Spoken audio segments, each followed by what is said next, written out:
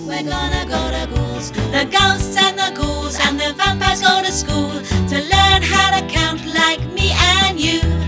They're so happy because they are able to sing this song and learn their 12 times table. 1 times 12 is 12.